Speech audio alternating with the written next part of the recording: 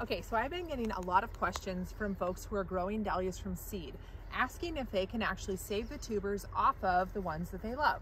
So if you've been growing out dahlias from seed, you will find a lot of them that you don't love, but then there might be one or two or maybe more than that that you absolutely love and that you want to save. So the way that we save the ones we want is we're gonna dig up the tubers. So this is one that I particularly love. I love like the double layer of petals and the little fringes. This is gonna be one that I wanna save. But there are quite a few in here that I don't wanna save, so I'm not gonna keep. But I wanted to show you the difference between um, a first year seedling, which is one of these, and then the ones that we have growing out in the field that are older. But just let's take a little tour of these. So these are all Florette's daughters. These all came from a variety called Florette that I bred a few years ago.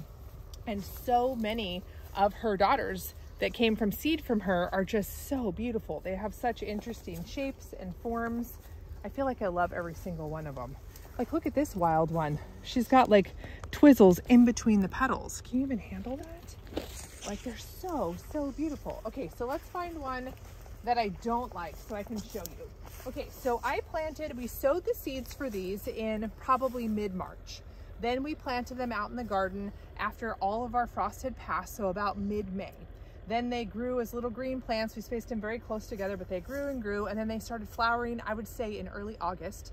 And then they've been just blooming their brains out until now. And so we have a frost coming any day, um, but they have just been giving it their all.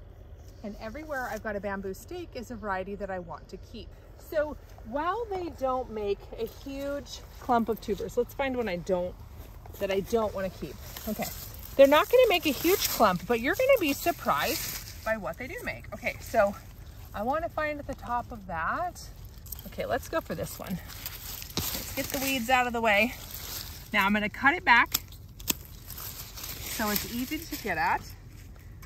Going to get my pitchfork and I want to start working far out on the outside and wiggle it. Now normally I do not dig dahlias until it has frosted, but I just, I thought it would be cool to show you an example right now. So let's do it. Okay. So I'm really, really careful. Look how stinking cute this is. So dahlia seedlings make these little tiny miniature clumps of tubers and you can see they definitely have formed tubers, but they're not the size of a clump that you would expect when you grow a dahlia from a tuber. So the, this is called a first year seedling and this is usually what you're gonna get. So I figure I get a minimum of one to one tuber. Sometimes I get up to three, but this is what you can expect. So why don't we take this out to the back field? I'll show you some that have been growing out there for multiple seasons and we can compare the difference. Okay, so all the dahlias out here in this patch are from my breeding program and they all originally started out as seedlings uh, either a year or maybe more ago. So they've been growing on the farm for longer. So originally I discovered one seedling, I fell in love with it, I dug up my little tiny measly clump like this. Then I divided it if it was even possible. Some of them I only was able to replant this, some of them I got two, maybe three tubers grew those out. And then if I loved them again, then I divided, dug those in the fall, divided them and planted them again until I had whole rows of things. But I wanted to show you the difference between, that's our little first year seedling. And then this guy is in probably its second or third year. So let's just cut back the stalks and I'll show you what it looks like. Now, it's not necessarily gonna have a giant clump. Like some varieties produce huge clumps or huge tubers and others don't. So it kind of depends. So don't be disappointed if this one isn't like the most gigantic, amazing thing you've ever seen. Okay, so we always want to get our pitchfork or our shovel away from the clump of tubers so that we don't accidentally slice through it. So I always like to start kind of working my way, start far out, loosen the soil, and then I can go in a little closer. And I like to use a pitchfork because the soil will fall away through the tines.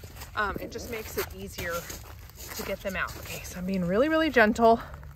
We want to be careful to not yank these guys. And of course, again, I normally do this after a frost, but I just wanted to show you what this looked like. Okay, so this guy made a nice little clump of tubers. It's not huge.